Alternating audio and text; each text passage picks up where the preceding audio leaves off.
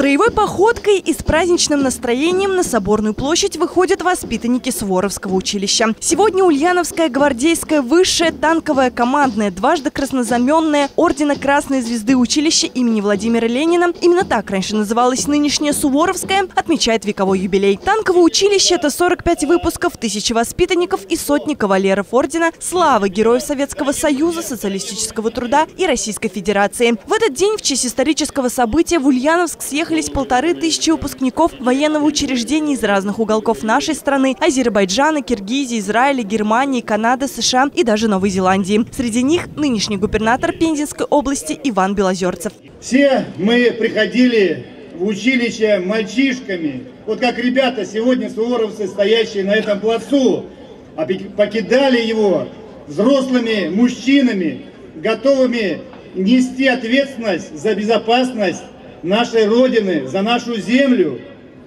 В нас воспитывали профессионализм, боевой дух. О юношеских годах, проведенных в училище, с теплотой и гордостью вспоминает 80-летний Иван Федорович Мельник. Ветеран-танкист служил во многих городах и странах, начиная от Вологды, заканчивая Германией. Занятия интересно проходили, тактические занятия проходили, стрельбы боевые. Выезжали в Тоск, боевые стрельбы, поливно стреляли.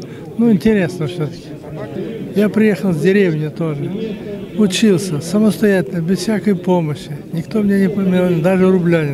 Я самостоятельно учился и сам добивался. Участники торжественного митинга не скупились на поздравления. Со сцены звучали слова благодарности от начальников подразделений вооруженных сил страны, командиров, ветеранов, выпускников, президента Владимира Путина. Глава государства дал распоряжение об объявлении благодарности Ульяновскому гвардейскому Суворовскому военному училищу. Поприветствовал всех присутствующих также Сергей Морозов.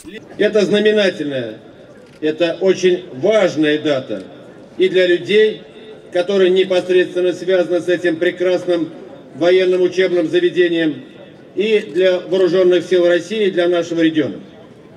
Это важная дата и для всего нашего государства, ради защиты и независимости которого проливали свою кровь, отдавали свои прекрасные жизни выпускники и преподаватели легендарного Ульяновского танкового училища. На Соборную площадь въезжает автомобиль. Командир взвода, один участник боевых событий и два курсанта отправляются на автомобиле в Суворовское училище, где заложат капсулу памяти. В ней послание для будущего поколения воспитанников военного учреждения, которые вскроют капсулу только спустя полвека. После на площадь выезжает еще один автомобиль в сопровождении мотоциклистов. Эта колонна вслед только что ушедшей отправится в Парк Победы к памятнику героям-танкистам-ульяновцам. У мемориала в память о них возложат корзину корзину с цветами. Дальше площадь все тем же строевым шагом покидает нынешнее поколение курсантов.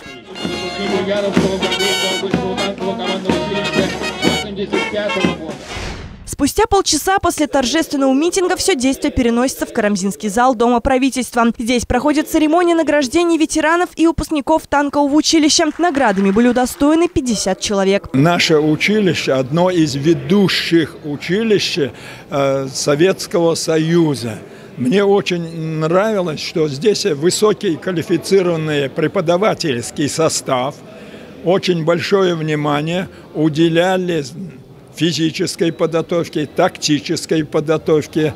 Э, и в том, что еще хочу сказать, что у нашего училища очень большая, хорошая была материальная, полевая и спортивная база. Свою награду получило и само училище. Ценный подарок в виде картины с изображением жизни танкистов во времена Великой Отечественной, написанный в 1958 году. Руководству военного учреждения вручил заместитель секретаря Совета безопасности Российской Федерации Юрий Аверьянов. Необходимо нам подумать о том, как воссоединить историю защитников Отечества, которая формировалась здесь с 1873 года в стенах военной гимназии, потом кадетского корпуса.